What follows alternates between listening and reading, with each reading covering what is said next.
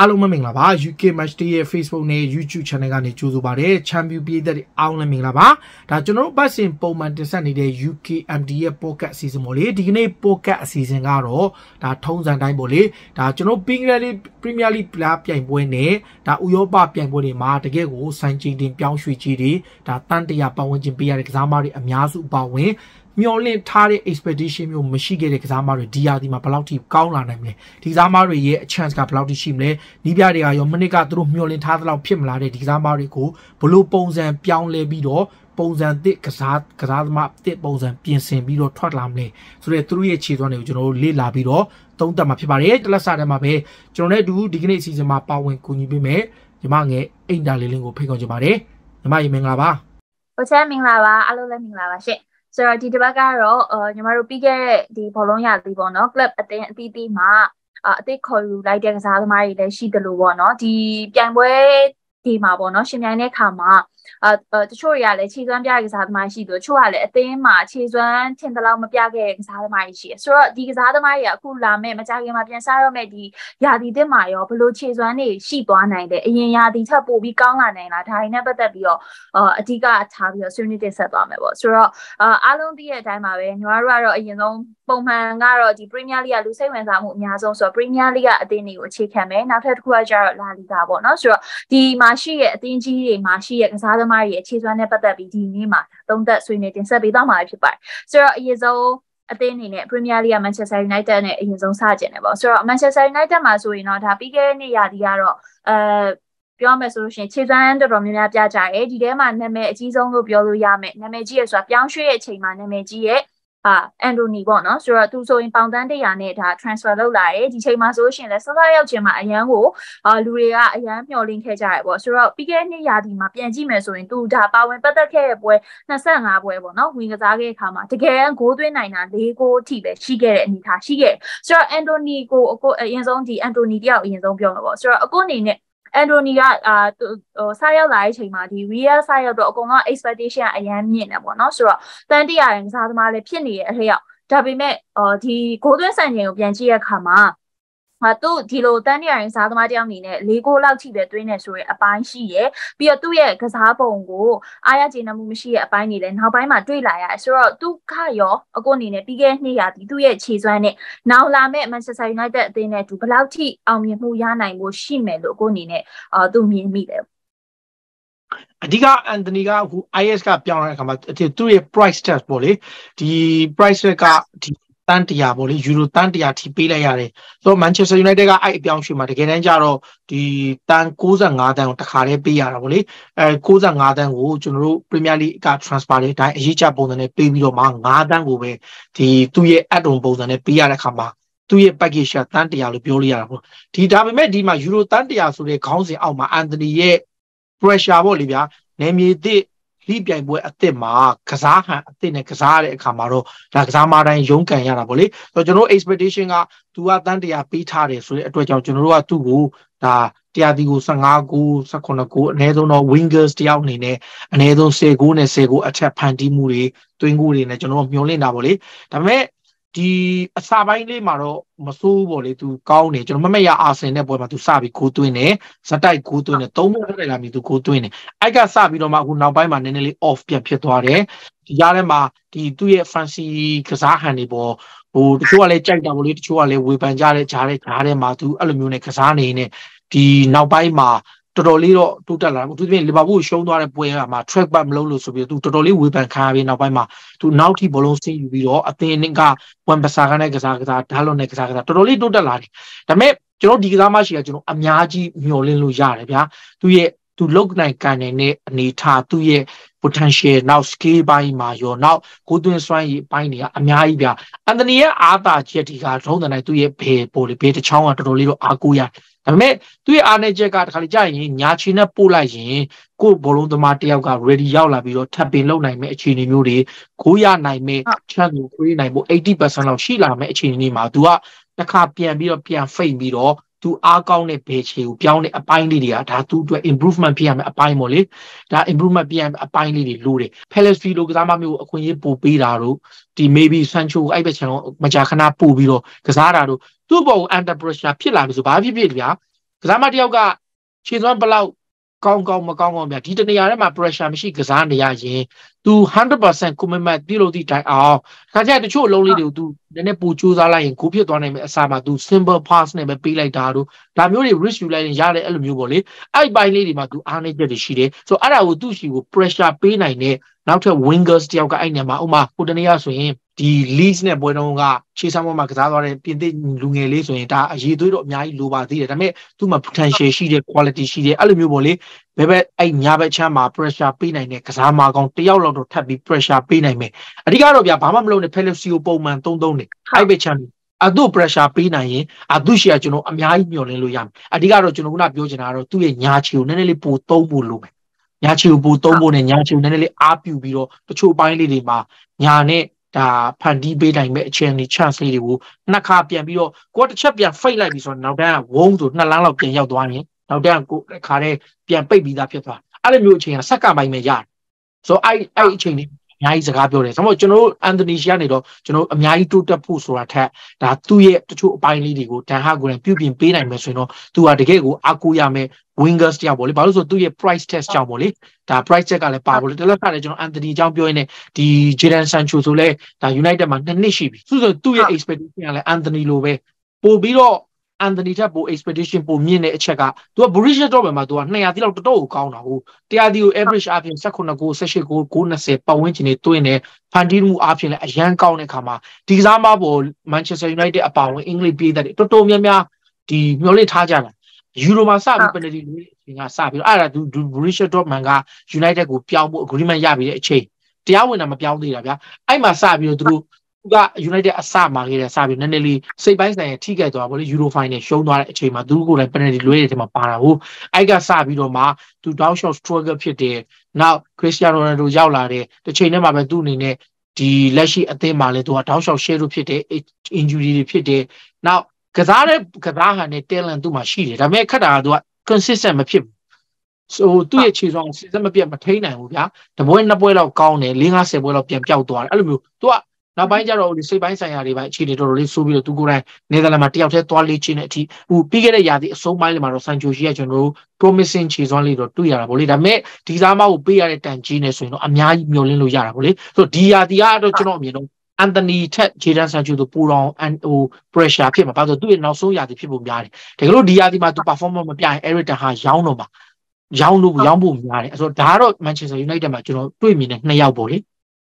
ဟုတ်ကဲ့ဆိုတော့နောက်ထပ်သသိန်းကတော့ Liverpool ပေါ့ဆိုတော့အဲ Liverpool ကတော့တိတ်ထွေထူးတော့ပြောစရာမရှိဘူးဒါပေမဲ့လည်းထပ်ပြီးတော့နောက်ကြာဒီမှာပြန်ပြီးတော့စောင့်ကြည့်ရမယ့်ကစားသမားလို့ပြောရရင်ဒါဝင်နူးညက်ပေါ့ဆိုတော့ဒါဝင်နူးညက်ကအလုံးသိပြီးသားပါခြေစွမ်းမကောင်းဘူးလို့ပြောလို့ရတဲ့အထဲမှာတော့မပါဘူးခြေစွမ်းပိုင်းကောင်းတယ်သူက Premier League ရောတခြား league ပြိုင်ပွဲအပါဝင်ဒါ10ဂိုးကျော်သူ့အနေနဲ့တွင်းထားတဲ့ကစားသမားဖြစ်တယ်ဆိုတော့သူကတော့အာစွမ်းဆောင်ရည်ပိုင်းကတော့သူ့ကိုအဲမကောင်းဘူးလို့ပြောလို့မရပါဘူးနောက်ပိုင်းပွဲစဉ်တွေမှာပေါ့နော်သူ့ရဲ့ goal twin စွမ်းဆောင်ရည်နည်းနည်းကျဆင်းလာပြီးတော့ဟောဒီဝေဖန်မှုနည်းနည်းကြုံတွေ့ခဲ့ရတဲ့ကစားသမားလို့ပြောမယ်ဆိုရင်လည်းဒါထာဝင်နူးညံ့ပြောလို့ရတယ်နောက်ထပ်သူကဂတ်ပိုပေါ့ဂတ်ပိုကလည်းဒါအားလုံးသိပြီးသားပါပဲဒီကမ္ဘာဖလားမှာလည်းဒါခြေစွမ်းတော်တော်ပြခဲ့တဲ့ကစားသမားဆိုတော့အာသူတို့နှစ်ယောက်ကရောအခုဒီနှစ်ပြီးခဲ့တဲ့နှစ်ရာသီလီဗာပူးမှာပြခဲ့တဲ့ခြေစွမ်းအတိုင်းဒီလာမဲ့ဒီ Premier League မှာရောဘယ်လိုမျိုးခြေစွမ်းတွေရှိနိုင်လဲသူတို့နှစ်ယောက်ရဲ့ဒီခြေစွမ်းနဲ့ပတ်သက်ပြီးတော့ကိုအနေနဲ့ရောဘယ်လိုမျိုးဝေဖန်သုံးသပ်ချင်လဲဟုတ် အဲဒီလီဗာပူးမှာအဓိကဒီ striker option အရန်များတာဗောလေဆိုတော့ကစားမတော်တော်များများကညာဘက်ချမ်းကမိုဆာလာရဲ့ position ဘယ်သူမှထိလို့မရအောင်ဗျအဲ့နေရာသူအကောင်းဆုံးပဲ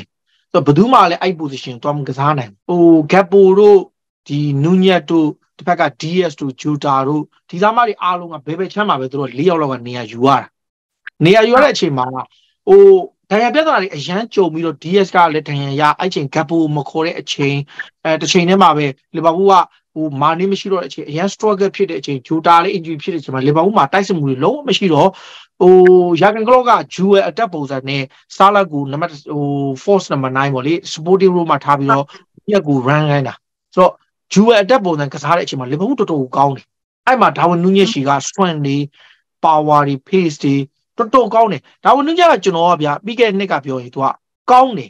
ဒါပေမဲ့လီဗာပူးရဲ့433 system မှာ तू တိတ်ပြီးအားမရဘူးကျွန်တော်အမြင်ပြောတာဗောလေ433 system မှာ तू အားရမှုပိုင်းအားနေတယ်ဘယ်ဘက်ချမ်းကဟို DS တို့လိုဂျူတာတို့လို तू မကစားနိုင်ဘူး ဆိုတော့တခါ center forward 66ကစားတဲ့အခါမှာလေ तू ကတိုင်ပင်အောက်နေတာတို့မကြာခဏလူကျွန်းတာတို့ဖြစ်တယ်ဒါပေမဲ့ dual attack ကစားတဲ့အခါမှာ तू ကတော်တော်အားကိုးရတယ်ဟောတခါရောက်တယ် system နဲ့လေ तू ကဆိုင်တယ်ဒါပေမဲ့ Uruguay ရောက်တော့လေ तू ကကောင်းမြန်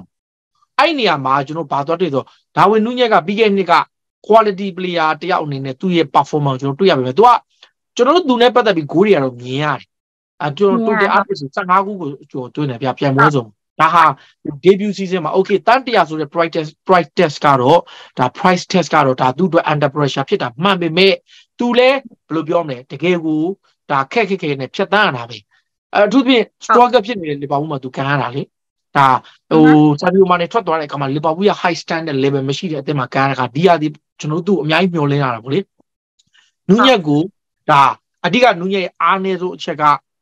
decision making ဘိုင်းအရင်အားနည်းသလို golden finishing ဘိုင်းမှာအားနည်းတယ်ထားပါတော့လူကာကူကိုကျွန်တော်အမြဲတမ်း mention လုပ်ဆိုပေါ့လေဟို goal တွေကတော့ United မှာဖြစ်ဖြစ် Everton မှာပဲဖြစ်ဖြစ်တော်တော်များများသွင်းတာပဲဒါပေမဲ့သွင်း goal တွေရဲ့နောက်ကွယ်မှာသူ့ကိုလေးလုံးလောက်မှတစ်လုံးဝင်တာတော့အဲအဲ့လိုပေါ့လေ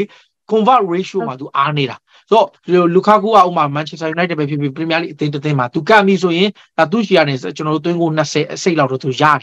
ဒါပေမဲ့ same time မှာ chance က85ချိန်လောက်ပေးရတဲ့သဘောဖြစ်3ချိန်မက4ချိန်မကဆိုတော့ဒီချက်တွေကဒါဝန်နူးညက်ပေါ့အဲ့လိုဖြစ်နေတာသူက chance တွေအများကြီးရတယ်ဒါပေမဲ့ဘေးကန်တာဘေးထွက်သွားတာတခါလေကျရင်ဂိုးတင်ဂိုးမဲ့အလုံးတွေကို ကိုမကိုမရရအောင်ကြံဖန်ပြီးလွဲချော်တာဒီလိုမျိုးတွေပေါ့လေတခုမဟုတ်တခုကြံဖြစ်နေအဲ့ pace ကိုပဲသူ final third zone ရောက်လို့ရှိရင်ချပေးလိုက်ရရင်တေချာပေါက်ဂိုးရနိုင်မယ်ကိုအတင်ရမယ်လုံးမှာတခါကျရင်လူကောင်းဆန်ပြီးကန်လိုက်တာတို့တခါကျရင်ပေးသပေးတဲ့အချိန်မှာမပေးဘဲနဲ့နောက်ကျမှပေးတာတို့အဲ့လိုအပိုင်းမျိုးပေါ့လေအဲ့ပိုင်းလေးတွေကကျွန်တော်တို့ဒါဝတူးညက်နဲ့ပတ်သက်လို့ပြီးခဲ့တဲ့ရာသီမှာကျွန်တော်အားလုံးကြိုက်တယ်ဗျာသူကစားဟန်ပါညာဟိုလူတွေကတော့မကြိုက်ဘူးပြောကျွန်တော်တို့နင်းရဲ့သဘောကြားတယ်ဘာဖြစ်ဖြစ် तू ကကွင်းထဲမှာရှိနေလို့ရှိရင် तू အတိုင်းအတာတူဒီ high အားဖြင့်လည်း तू ကကောင်းတယ်လေ ဆိုတော့ဟိုသဘောကျတယ်ဒါပေမဲ့ तू decision making အပိုင်းလေးတွေအားနေတယ်နောက်တစ်ခုက chance တွေ create ရပြီဆိုရင်ဖြုံးတီးတဲ့အပိုင်းလေးတွေ goal convert ratio အပိုင်းတွေတိုးတက်လာဖို့ ਨੇ decision ပိုင်းအားကောင်းရင်တော့ Nunez ကဒီတက်ပိုကောင်းလာနိုင်ကစားမှာဒီမှာခုနပြောတဲ့အချိန်မှာ gap ပိုကြတော့အပြစ်အားဖြင့်ပြောဖို့နေတယ်ဟုတ်ဘာလို့လဲအခုလီဗာပူးမှာသူကစားတဲ့ခါမှာဘေဘချက်မှာကစားရတယ်အလင်မှာကစားရတယ်တစ်ဆယ်ရိုးမှာကစားရတယ်သူကဟိုဖမီနိုလိုပဲစုံရလိုက်ကစားနေရတဲ့ position မျိုးရိုးကဒါပေမဲ့ အဲ့ row time row time မှာ तू ကကောင်းတယ်ဒါပေမဲ့ထောင်ထွက်နေတဲ့ပုံစံမျိုးကိုလေနံပါတ်ဟို rating 630ပုံစံမျိုးမဟုတ်ဘဲနဲ့ခွန်ရှိခွန်ရှိကစားနေတာသူ့ရဲ့ rating ကဆိုတော့ gap ကတော့အားကိုးရမယ်ရန်ကတော့အားကိုးရမယ်ဘာလို့သူ့ကိုဆွဲဆုံးသုံးနေတယ်ဒီပြဆိုတော့စားလဲညာချင်းအလွင်ကျန်တဲ့ position ထဲမှာ तू ကနေရာတိုင်းမှာခနာလို့ရတဲ့ကစားမှာဖြစ်တော့ရာဒီဝက်မှာလည်းပြောင်းလာတာဖြစ်လို့ကြောင့်ကျွန်တော်တို့ကသူ့အများကြီးတော့ဝေဖန်လို့မရသေးဘူးဒါပေမဲ့ ဂပ်ပိုဒီကပိုကောင်းလာမယ်လို့ကျွန်တော်တို့မြင်တယ်ဂပ်ပိုဟာ Liverpool system မှာအကူရမယ်သူ maybe ဒါ first try center forward တောင်ဖြစ်ကောင်းဖြစ်နိုင်တယ်သူက center forward စစ်စစ်မှုတ်တိတိုင်အောင်မှာ first try center forward ဖြစ်နိုင်ပြီးတော့နူးမြတ်တို့ဒီဂျိုတာတို့ DSO နဲ့နေရာကျန်တဲ့နေရာလူရနိုင်တယ်ဒါပေမဲ့ကျွန်တော်တို့ဂပ်ပိုက Liverpool အတွက်လည်းတော်တော်လေးအကူရမယ်သူရဲ့ဟိုကစားဟန်ကစားပုံကနောက်တစ်ခုက ဒီကွင်းလေနဲ့ link up ပေးလေးကစားတာတခြားကစားမတွေနဲ့ link ပေးတာသူက Firmino ကိုပြန်ကြည့်ရတော့ Firmino လောက်တော့ clever ဖြစ်ချင်မှဖြစ်မယ် intelligent ဖြစ်ချင်မှဖြစ်မယ်ဒါပေမဲ့သူ့ပိုင်းနဲ့သူပေါ့လေသူ့နီးသူ့ဟာနဲ့တော့အသိကိုအကျိုးပြုနေတဲ့ကစားမတယောက်လို့ကျွန်တော်တို့မြင်ဟုတ်ဆိုတော့ အဲနောက်ထပ်တဲ့သင်းကတော့ Arsenal ပေါ့နော် Arsenal ကတော့တိတ်ထွေထူးထူးပြောစရာမရှိဘူးလို့တော့ထင်တယ်ဒါပေမဲ့အဲ့ဒီမှာမှညီမပြောချင်တဲ့ကစားသမားကတော့ဂျေစုပေါ့ဆိုတော့ပြီးခဲ့တဲ့နေ့ရာသီမှာတော့ခြေစွမ်းပြတဲ့အထဲမှာပါတယ်ဒါပေမဲ့သူကဒဏ်ရာပြဿနာနဲ့နည်းနည်း struggle လုပ်ခဲ့ရတဲ့အပိုင်းကြီးရှိတယ်ဆိုတော့ဂျေစုအနေနဲ့ရောအခုဒီလာမယ့်ရာသီ Arsenal အသင်းနဲ့တူသူ့အမြဲတမ်းသူ့တော့ညီမတို့စီမှာတော့ဂိုးသွင်းဆက်လို့ခေါ်တာပေါ့ဆိုတော့ဒီလိုမျိုးပဲဂိုးတွေဇက်တိုက်ဆက်သွင်းပြီးတော့အော်ဒီ Arsenal အသင်းအတွက်ဘယ်လောက်ထိ supportive ထပ်ပြီးတော့ဖြစ်အောင်ပါလဲပေါ့ဒီဂျေဆုရဲ့လက်ရှိအခြေအနေနဲ့လာမယ့်အခြေအနေရောဘယ်လိုမျိုးရှိနိုင်မလဲလို့အခုအနေနဲ့သုံးသပ်မိပါတယ်ဂါဘရီယယ်ဂျေဆုကြတော့ကျွန်တော်ပြန်စဉ်းစားတာပေါ့လေ तू ကတရားသီကို90 30တွင်းနေကစားမှတိုက်မျိုးမဟုတ်ဘူးဗျ तू တိုက်ကဟို link link up လေးကစားမယ်အသေးနဲ့တွေ့ပါမယ်နောက်ထိဘလုံးကိုဆင်းယူမယ်နောက်ထိဆင်းဖြတ်မယ်သူကအဲ့လိုပုံစံမျိုးဗျာ center forward ဖြစ်နေပြီမယ်လေသူကဟိုးနောက်ထိဟို defensive zone ထိရောက်အောင်ရောက်နေတာဆိုတော့ သူအဲ့ကြတော့သူ့ရှင်နေကျွန်တော်တို့ကတရားသေးကိုတွင်းကို20 30မန်စီးတီးအရင်မန်စီးတီးမှာသူကောင်းတဲ့အချိန်မှာတော့ဟိုဘရာဇီးမှာကောင်းတဲ့အချိန်မှာသူ့ရှင်ကဂိုးတွေအများကြီးမရအောင်ဆိုတော့ကျွန်တော်တို့အာဆနယ်ပေးသက်တယ်ဆိုရင်သူ့ရှင်ကကျွန်တော်တို့က15ဂိုးရရင်တော်တော်ဂျင်းနဲ့သူ့ရှင်တရားသေးကို15ဂိုး average Premier League 15ဂိုးဟိုဟိုပြိုင်ပွဲစုံ20လောက်ဆိုတော်တော်လေး happy ဖြစ်ဖြစ်တဲ့ WG ဘာလို့ तू က သူ့ရဲ့ကစားဟန်ကအတူအတူစိတ်လေးတွေအတူဝင်ထွက်1 2လေးတွေနဲ့သွားတဲ့ခါကျတော့ပြိုင်ဘက်ရဲ့ခံစစ်ကိုအန်တော့လုပ်တဲ့အပိုင်းမှာသူကအများကြီးအားသာချက်ရှိတယ်အားသာချက်ရှိတော့အဲ့ပိုင်းလေးတွေမှာအာဆင်မှာ तू ကအားတာတယ်ဆိုတော့အာထေတာကိုယ်တိုင်ကလည်းဒီအောင်သိတယ်ကျွန်တော်တို့ရှိမှာဟာလန်လည်းမရှိဘူးဗျာဟာလန်လိုကစားမမျိုးတရားစီတွေကိုဘန်စီမာလိုလိုလိုဒီလိုမျိုးအမ်ဘပ်ပေလိုတရားစီတွေကို340တွင်းနိုင်တဲ့ကစားမမျိုးမရှိဘူးမရှိတော့ဘာလို့လဲဆိုတော့ဒီလိုပဲ ရှေ့မှာရှိတဲ့တိုက်စစ်အစုဖွဲ့ကပဲကစားမယေစုရဲ့အတွဲပဲဖြစ်မာတင်နယ်လီတို့ဆာကာတို့အိုဒီကာတို့ရှိရနေတွင်းကိုတယောက်ကို10ကိုနဲ့12ကို15ကိုလောက်ယူလို့ရှိရင်ဟာသူတို့တိုက်စစ်က၄ယောက်ကို60ဆိုတော်တော်ဟုတ်ပါပြီဗျာကစားမတယောက်တည်းထိုင်နေတွင်းတာနဲ့၄ယောက်60၄ယောက်ပေါင်း60ပူအားကိုရတယ်ဘာလို့ဟိုကစားမတယောက်တည်းကခြေသွားကြတဲ့နေ့မာကင်မီတဲ့နေ့ဘာမှမလုပ်နိုင်တဲ့ချိန်တသိန်းလုံးတိုင်ပတ်နေမဲ့အတူတူအခုပေါ် formation ရဆိုရင်ကျွန်တော်တင်တော့ Arteta ရဲ့ formation ကသူဂိုးအများကြီးလည်းမရဘူး သူ့ maximum 15ဂိုး20ကသူ့တော့ထန်ကုန်ပဲ20ဆိုတော့အာဆင်ပေးတဲ့တွေဆိုအတိုင်းထက်လို့ပေါ့လေအဲ့ဒါလည်းပြိုင်ပွဲဆုံးဖြစ်ဖို့များပရီးမီးယားလိမှာသူသွင်းကုန်20ရဖို့ခက်တယ်ဆိုတော့ဂျေဆုရှီကကျွန်တော်တို့ဘာတွေမျှော်လင့်ရမလဲဆိုတော့အဓိက injury free ဖြစ်ဖို့နဲ့ fit ဖြစ်ဖို့ပဲလိုတယ် ပြီးခဲ့တဲ့ရာသီမှာကျွန်တော်တို့3လလောက်ဆုံးရှုံးလိုက်တဲ့အတွက်ကြောင့်လေဒါသူရာသီပိတ်မှာသူ10ဂိုးကျော်ကျော်လေးပဲရရတာဗလေပရီးမီးယားလိမှာတကယ်လို့ဒါအဲ့3လတည်းမှာနောက်ထပ်5ဂိုး6ဂိုးလောက်ဆိုရင်ဘာဖြစ်ဖြစ်18ဂိုးလောက်ဆိုရင်သူတော်တော်လေးတော့ fair ဖြစ်တာဗလေတိုက်စစ်မှုတယောက်အနေနဲ့ဆိုတော့ဂျေဆုအနေနဲ့အခုဒီဟာမှာ competition ကဘာဖြစ်ဖြစ်ခိုင်ဟာဗတ်က at least ဆိုသူရဲ့ striker position မှာရော ကွင်းလေ position မှာပါအများကြီး pressure ပေးနိုင်တဲ့ကြောင့် Gabriel Jesus ရဲ့ကျွန်တော်တို့ big response ကိုကျွန်တော်တို့တွေ့ရနိုင်တယ်။ဒါပေမဲ့ Arteta ရှိကကျွန်တော်တို့ Jesus ကိုကျွန်တော် Haaland လိုမျိုးကိုသွင်းဖို့ Aguero လိုကိုသွင်းဖို့ဒါနောက်တစ်ခုကဒီအရင်တော့က striker ကြီးတွေ drop ပါလို့လို့ဒီလို goal တရားသေးတဲ့ goal အများကြီးရမယ်နေထားမျိုးကိန်းလို့လို့အစင်တမ်းမျိုးတော့လေ तू ကမဟုတ်ဘူး။ဘာလို့ तू က striker စစ်စစ်ဆိုတာပုံပဲနဲ့ striker striker စစ်စစ် position ကိုကစားနိုင်တဲ့ striker ရဲ့ position အားလုံးကိုကစားနိုင်တဲ့ကစားမဒါပေမဲ့ကျွန်တော်ပြောလို့ပေါ့လေသူသူတရားနဲ့ဂိုးအများကြီးပြောလို့မရဘူးဆိုကျွန်တော်တို့အနေနဲ့တရားဒီမှာသူ့ကို15ဂိုး Premier League 15ဂိုးလောက်နဲ့ပြိုင်ပွဲစုံ20လောက်ဆိုတော့ဒါတော်တော်လေးအားကောင်းနိုင်တယ်အခုဆိုရင်သူက pressure နဲ့ကစားတော့မှာဖြစ်တဲ့ကြောင့်နောက်တစ်ခုကကြန့်ခိုင်မှုကောင်းမယ်ဆိုတော့ဒါအာဆင်အတွက်အများကြီးအားကိုးလာနိုင်တဲ့ကစားမတစ်ယောက်ဖြစ်လာနိုင်တယ်ဆိုအာဆင်ကတော့သူအားပါတွေ strength ကိုအဓိကအသုံးချပြီးတော့မှတိုက်စစ်ကို ၃ယောက်ကိုအလဲကျပုံစံ run ပါဘောလေဂျေဆုနဲ့ဒီမာတင်နယ်နဲ့ဝင်မယ်ဆာကာနဲ့အဝင်ထွက်လုပ်မယ်ထရဆောပိုင်ထရဆောပုံစံမျိုးပေါ့လေဆိုတော့အဲ့ဒါတော့ဒါဂျေဆုရှီကကျွန်တော်ပို့မျှော်လင့်ရနိုင်မဲ့ပုံစံလို့ကျွန်တော်မြင်တာပေါ့လေโอเคဆိုတော့နောက်ထပ်တဲ့သင်ကတော့ Chelsea ပေါ့ Chelsea ကတော့ဒါပြီးခဲ့တဲ့နှစ်ရာသီမှာအားလုံးသိတဲ့အတိုင်းပဲအာ Chelsea အသင်းအတွက်အဆိုးရွားဆုံးနှစ်တစ်နှစ်လို့ပြောလို့ရတဲ့အနေအထားမှာအခုအနေနဲ့ရော Chelsea အသင်းမှာခုနပြောသူဒီနှစ်ရာသီမှာ အာဘယ်လိုပြောပြီးခဲ့တဲ့နှစ်ရာသီမှာပေါ့နော်အာခြေစွမ်းမပြဘူးလို့အာထင်တယ်လို့မျောလင်းလို့မရတဲ့ကစားသမားရှိခဲ့မယ်ဆိုရင်လည်းသိကျင်တယ်ပြီးတော့သူ့အနေနဲ့ရောနောက်နှစ်ရာသီအတွက် Chelsea ကိုဘယ်လောက်ထိဟိုအထောက်အကူပြုနိုင်မလဲပေါ့အကိုရွေးချယ်ပေးမဲ့ကစားသမားရှိမယ်ဆိုရင်လည်းသိကျင်ပါတယ်အဓိကကျွန်တော်တို့ဆိုရင်မီကာလိုမိုဒရစ်ကတော့ Chelsea ပြောမှာဗောလေသူလည်းနောက်ထပ်ဒီ price test ရတန်တရာဖြစ်တဲ့ကစားမဒီကစားမ quality ဘယ်လောက်ရှိလို့တည်တယ်သူက သူ့ရဲ့ပြဿနာကလည်းဘာဖြစ်လဲဆိုတော့ကစားမတယောက်ကဘာဖြစ်လဲဆိုတော့ပွဲတိုင်းမကစားရင် confidence ပျောက်တယ်ဗျဟိုမီကာလိုမိုဒရစ်ပထမပွဲကောင်းတယ်နောက်နှစ်ပွဲသုံးပွဲလောက်လေးပွဲလောက်ခြေကျသွားတော့သူ့မသုံးတော့ဗျအဲ့မှာ तू က momentum ပြန်မရအဲ့မှာကုံယွန်ကြည်မှုအစားပြန်တိဆောက်ရအတခါပြန်ကစားတဲ့အချိန်မှာ तू ကခြေစမပြနိုင်တခါနီးပြပြန်အောက်လိုက်ဆိုအဲ့ဒါသူ့ရဲ့တန်တရားဖြစ်နေနောက်တစ်ခုကနီးပြအဆက်ဆက်ပေါ့လေနီးပြ3ယောက်4ယောက်လောက်ပြောင်းသွားတာဟိုယာယီနီးပြ1ယောက်ထည့်လိုက်4ယောက်လောက်ပြောင်းသွားတဲ့ခါမှာသူ့ကစားကွက်ကလုံးဝမတင်နိုင် ဆိုတော့အဲ့ချက်ကြောင့်ကျွန်တော်ကမီကာလိုမိုဒရစ်ကပြီးခဲ့တဲ့ရာသီတော်တော်ကိုစိုးသွားတယ်ခြေစွမ်းဆိုတော့အဲ့ချက်တော့မစိုးနိုင်တော့ဘူးဗျာဆိုတော့သူ့ရှီကနေကျွန်တော်အကောင်းနေပဲကြည့်ရတော့ဆိုတော့ပိုချတီနိုအနေနဲ့သူ့သူ့ရဲ့အကောင်းဆုံး form ကိုဘယ်လောက်ထိဆွဲထုတ်ပေးနိုင်မလဲနောက်သူ့ရဲ့အကောင်းဆုံး position ဘယ်ဘယ်ချက်မှာရှိမှာလဲသူ့ကိုဘယ်လိုတုံးစံတုံးလဲဆိုတဲ့အချက်ပဲကျွန်တော်ကတော့မီကာလိုမိုဒရစ်ကိုအဓိကစောင့်ကြည့်ရမယ်ကစားမတယောက်အနေနဲ့ဒါပြီးခဲ့တဲ့နှစ်တော့သူထပ်ဆိုးနိုင်တာမရှိလို့ဒါသူ့ရဲ့ quality ကသူဘယ်လောက်လုပ်ပြနိုင်လဲ သူအားသာချက်တွေပါလေသူရဲ့ strength ကအားသာချက်သူရဲ့အားသာချက်ရှင်းနေဗျ pace power ပဲ pace ကအရန်ကောင်းတော့ဘလုံးလမ်းကြောင်းနဲ့ချပေးနိုင်တဲ့အလုံးမျိုးတွေသူပြေးခိုင်းနိုင်မဲ့အလုံးတွေဒါသူကြော်ဖြတ်နိုင်မဲ့အလုံးမျိုးတွေသူအဓိကပေးရမယ်ဒါကတော့ Miguel Mudrik အရန်ကြည့်ရမှာဒါပေမဲ့ကျွန်တော် Chelsea မှာနောက်တစ်ယောက်ပြောချင်တာ Raheem Sterling expectation ကအရန်မြင့်တယ်ဗျာထားပါတော့ Manchester City ကိုမရောက်ခင်နောက်ဆုံးတရားဒီမှာသူတော်တော်လေး struggle ဖြစ်တယ်နောက် City ကမထွက်ခင်ပေါ့လေအဲ့မှာတည်းကသူနည်းနည်းလေးညံ့သူ Chelsea ကိုရောက်တဲ့အခါမှာသူက leading role မှာကစားရမယ်ဆိုသူကိုယ်တိုင် share လို့ဖြစ် တသိလုံး struggle ဖြစ်တဲ့ချိန်မှာ तू struggle तू ပါရုန်းကန်တာတော့ဟိုအပြစ်ပြောလို့မရဘူးလေဒါပေမဲ့ rhyme challenge လို့အဆင့်တန်းမျိုးနဲ့ဆိုရင်ဒါဘာပဲဖြစ်ဖြစ်ပိုကောင်းနိုင်တဲ့ကစားမမျိုးအခုက starling ကလည်းတကယ်ကိုတော်တော်ရုန်းကန်ရတယ်သူကဟို Chelsea မှာ force မနိုင်ကစားလိုက် right wing ကစားလိုက်ဒါ wing back ကစားလိုက် တော်တော် position ၄မျိုးလောက်သူလည်းကစားနေရတာသူကဘယ်ညာအကုန်ကစားသူလည်းပုံစံတိကျမရှိဘူးဆိုတော့ Pochettino တောက်ဆိုးတဲ့တောက်လုပ်ဖို့လိုတယ်ဒီ position က Chelsea တို့အမဖြစ်မနေအားဖြစ်ရမယ်အဲ့ဒီနေရာပိုကောင်းလာဖို့ကျွန်တော်ထင်တော့ Starling ရဲ့အတွေ့အကြုံကျွန်တော်နေထင်တာတော့ Starling ရဲ့အကောင်းဆုံးချိန်နဲ့ကြာတာတော့ကြာဒါပေမဲ့လည်း Chelsea အနေနဲ့ရလောက်မတင်တယ် Pochettino အကောင်းဆုံးသူ့ကို at least တော့သူ့ကို Starling ရှိအရင်တော့လို့ Man City လို့တရားသူကိုသွင်းကိုအစိတ်တို့3တီတို့သွင်းဖို့တော့မမျှော်တော့ဘူးလေတရားသူကို12ဂိုးလောက် 15ဂိုးလောက်ရရင် Starling ရှိတော်တော်လေးအောင်မြင်မှာ Modric ရှိကကျွန်တော်တို့ဒါ10ဂိုးပတ်ဝန်းကျင်လောက်နဲ့ဖန်တီးမှု10ချိန် double figure လောက်ဆိုတော့တော်တော်လေးကောင်းတယ် double figure မရရင်တော့မှအနည်းဆုံးတော့ဖန်တီးမှုနဲ့ဒါသွင်းဂိုးတစ်ခုပေါင်း15ဂိုးလောက်ဆိုတော်တော်လေးဟုတ်တယ်ဗောလေဒါကတော့ကျွန်တော် Chelsea ဘက်မှာမြင်ကျင်တဲ့အနေထားဗောလေ အော်ဟုတ်ဆိုတော့အခုကတော့ဒါ Premier League ပေါ့နောက်ဆုံးအနေနဲ့အခုမေးချင်တာကဒီအာအလုံးအားပေးမှုများတဲ့ဒီ Real တို့ Barcelona တို့ဒီအသင်းတွေကရောဘယ်ကစားသမားတွေကပြီးခဲ့တဲ့နှစ်မှာထင်သလောက်ခြေစွမ်းမပြခဲ့တဲ့သူတွေရှိမလဲပြီးတော့အခုလာမယ့်နှစ်ရာသီအတွက်ကောသူတို့ဘယ်လောက်ထိ expectation ထားလို့ရလောက်မလဲပေါ့နော်ဆိုတော့ဒါနဲ့ပတ်သက်ပြီးတော့ Real နဲ့အာ Barcelona ကကစားသမားတွေတချို့ကိုလည်းယူပေးပါ ရီးယားမှာတော့ကျွန်တော်တို့တိတ်ပြောစရာမရှိဘူးအလုံးလုံးပြောမှဟို Orion Shramani တယောက်လောက်ပဲ Shramani တယောက်လောက်ပဲဆိုတော့တကယ်တော့ဒီကစားမလေးကတော်တော်လေးကောင်းတယ်သူလည်းနောက်ထပ်တန်း100ကစားမပဲ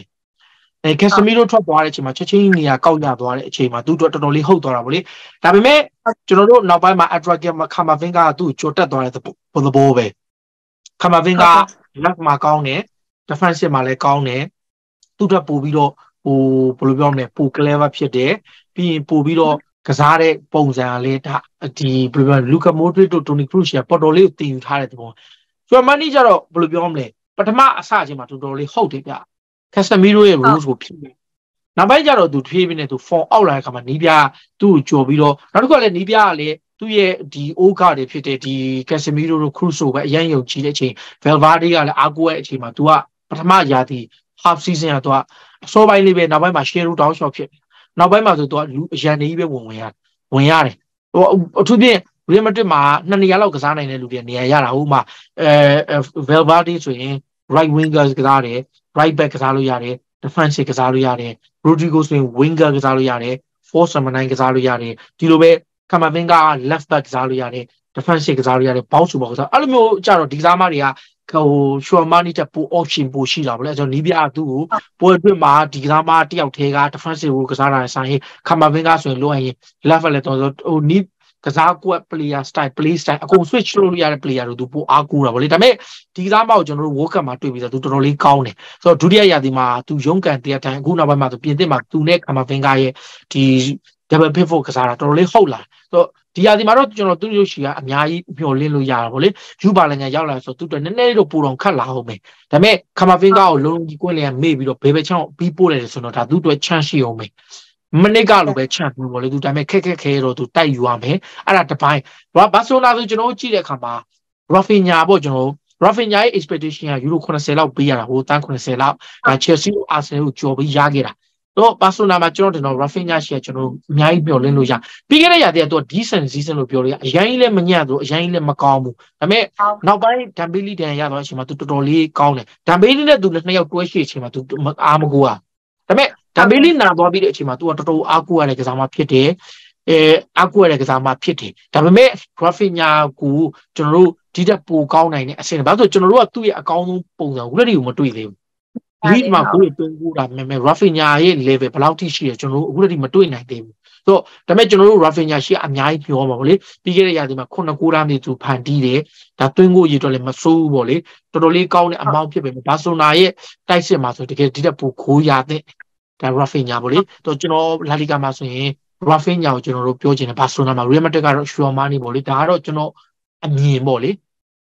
ဟုတ်ကဲ့ဆိုတော့အခုဒီနေ့သုံးသက်ပေးသွားတဲ့ကစားသမားတော်တော်များများတော့ကုန်သွားပြီပေါ့ဆိုတော့ Premier League နဲ့ဒါလီဂါကကစားသမားအာပြီးခဲ့တဲ့နှစ်ကအာထင်တဲ့လောက်ခြေစွမ်းမပြဘူးပြရပြရဲထင်တဲ့လောက်တော့မျောလင့်ထားသလိုတော့မဖြစ်လာကစားသမားတချို့နဲ့သူတို့တခုလာမဲ့ယာတီမှာဘယ်လိုမျိုးခြေစွမ်းအခြေအနေရှိနိုင်လဲဘာလေးပြင်သွားရင်တော့သူတို့အတွက်သူတို့ကအသိအတွက်ဘယ်လောက်ထိအော်အထောက်အကူဖြစ်သွားမလဲဒါနဲ့ပတ်သက်ပြီးတော့ပေါ့နော်အကိုရဲ့ရှုထောင့်အမြင်ကနေဒါပြည့်ပြည့်စုံစုံညီမမေးသမျှကိုဖြေပေးခဲ့တဲ့အတွက်ကျေးဇူးများတင်ပါတယ်ရှင် ဟုတ်ကဲ့ဒါကျွန်တော်နောက်ဆက်တွဲပေါ့ဖြည့်ဆွက်လေးပေါ့လေအခုကျွန်တော်တို့ Manchester City မှာဆိုရင် Julian Alvarez ကိုကျွန်တော်တို့ဒီရာသီမှာပူတွေးခွင့်ရနိုင်မလားဆိုတဲ့အချက်ပေါ့လေတကယ်တော့ तू က तू လဲ16ဂိုးလောက်သွင်းတာပဲ အဲ Julian Alvarez ကို Pep Guardiola ဘယ်လောက်ထိပိုသုံးမလဲဆိုတဲ့အချက်အဲ့ဒါလေးတော့ကျွန်တော်နည်းနည်းလေးသဘောကျပါလေစဉ်းလဲစဉ်းစားတယ် Guardiola လက်ထက်မှာဟိုဟို Mahrez တို့ Bernardo တွေကတယောက်ယောက်ထွက်သွားခဲ့သူ့အတွက်ပိုချမ်းရှိနိုင်မလားဆိုတော့သူ့ရှီကနေကျွန်တော်တို့တွင်းကို20အစိတ်လောက်မျောလွန်းလို့ရသလို Jack Grealish ကပထမရာသီဘက်မှာညံ့တယ်ဒုတိယရာသီဘက်မှာအရန်ကောင်းလာတယ်ရှေ့တစ်နှစ်ကတော့ညံ့တယ်ဆိုတော့ဒီရာသီမှာပဲ Jack Grealish က consistent ပိုဖြစ်ပြီးတော့အရန်အားကိုးရတဲ့ကစားမဖြစ်သွားမလားနောက်ကျွန်တော်တို့ ဟိုအဲ့ကစားမနှစ်ယောက်တော့ကျွန်တော်ထပ်ဖြစ်ဆွပေးတာပေါ့လေဒါကျွန်တော်အမြင်ပေါ့လေဒါတော့ဒီပြီးခဲ့တဲ့ရာသီတွေမှာရောက်ရှိလာတဲ့ကစားမတွေတရားသီကျော်ရောက်ရှိလာတဲ့ကစားမတွေရဲ့ဒါ performance တွေဒီရာသီမှာဘယ်လောက်ထိတွေ့မြင်ရမလဲဘယ်လောက်ထိပြောင်းလဲလာနိုင်လဲဘယ်လောက်ထိမျှော်လင့်ရမလဲဆိုတဲ့အကြောင်းတွေကိုတင်ဆက်ပေးတာပါတလဆာတမှာပဲကျွန်တော်လည်းအတူဒီကနေ့အစီအစဉ်မှာပါဝင်ကူညီပေးတဲ့ညီမငယ်အိမ်တာလေးလင်းကိုလည်းကျေးဇူးတင်ကြောင်းပြောရင်းနဲ့အားလုံးနှုတ်ဆက်ပါတယ်အားလုံးကျေးဇူးတင်ပါတယ်ဗျကျေးဇူးတင်ပါရှင့်